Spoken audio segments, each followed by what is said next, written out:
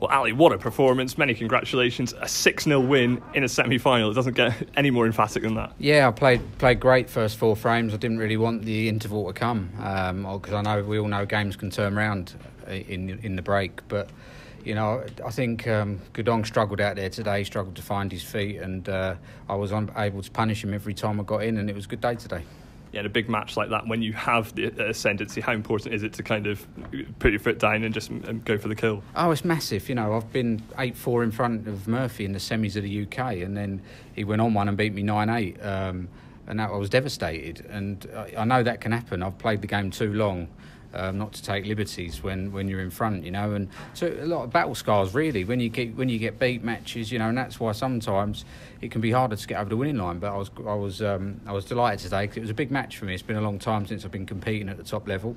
Um, that got I think that gets me in the Players Championship as well, and it gives me a crack at the title tomorrow, uh, Sunday yeah, I suppose that, that fifth frame kind of summed up. You must have known it was your night when uh, he goes in off, and then you put a brilliant black. It was, uh, yeah, you must have known it was going your way at that point. Yeah, I mean, the, the, it's, in, it's unlucky that he's gone in off, but really, you know, the white is always going towards the pocket, and um, you know, he's, he's he's hit it uh, uh, too hard, and, and, the white has gone in. And you know, we all know when you've got the black over the hole, the in off's in the middle, and we all play it, and it all every time it goes in.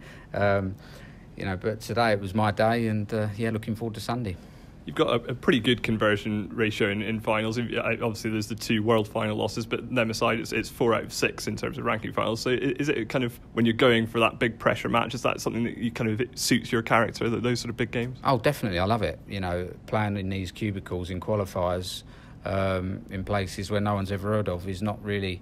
You know, it doesn't really inspire us and, and inspire a lot of the top players, but that's how it is. Um, you know, we like it when there's crowds and one table, two tables set up. Uh, it's a great tournament this week, great venue, and um, like I keep saying, I'm delighted to be back on Sunday. Almost three years since your last ranking title. Just how much would it mean to be holding that trophy come Sunday night? Yeah, it'd be a little bit surreal. I'm, I, I, you know, I'm in the final now, and it doesn't feel like I've got so much going on behind behind the scenes. It's unbelievable at the minute, and uh, to be to be in the final, I just think I just feel a bit punch drunk. Really, um, I'm going to come back Sunday, and I'll, I'll look forward to it. Well, well done tonight.